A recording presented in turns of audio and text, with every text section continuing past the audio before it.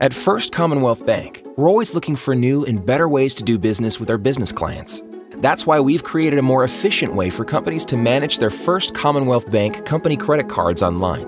Now you can order cards for new employees, change credit limits in real time, view transactions by individual, make payments, update company contact information, and more.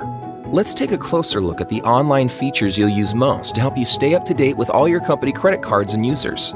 To get started, visit fcbanking.com and select Account Login. Then choose Credit Cards from the drop-down menu. You can designate up to two authorized administrators. Just reach out to your relationship manager to get set up with a unique user ID and password for each. As an administrator, you can manage all your company cards simply and securely with just a few clicks. Once you're signed in, you'll see a complete list of your company's cardholders, get an overview of balances and available credit limits, and see the status of each card. You can sort this list alphabetically by name, credit limit, or card status.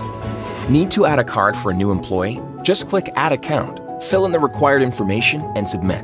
You'll receive a confirmation message and a new card will be on its way shortly, all without ever needing to contact the bank.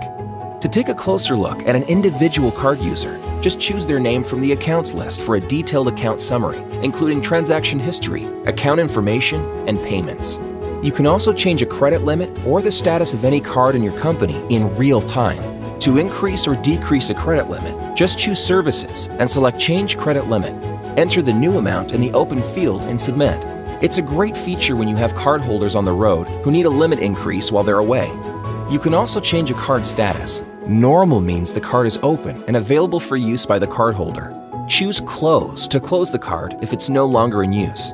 And if the card is lost or stolen, choose Suspend to ensure the card can't be used for purchases.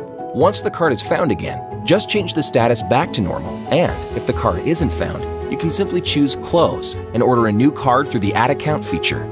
And paying card balances electronically has never been easier. Click Payments and choose Make a Payment.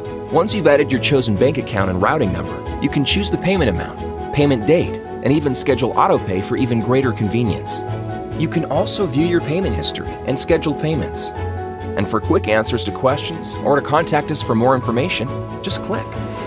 Our online company credit card tool is designed to put the information designated administrators need to open, close, track, and pay balances on your first Commonwealth Bank company cards at your fingertips, all without calling or making any trips to your local office. Try it today